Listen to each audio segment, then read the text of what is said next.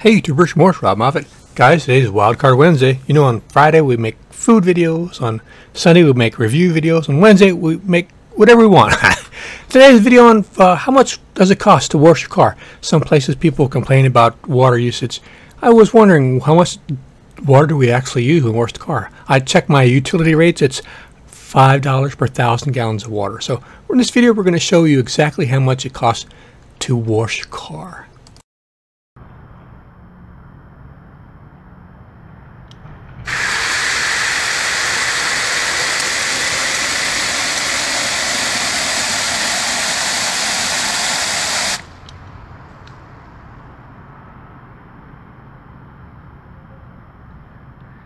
Nine seconds.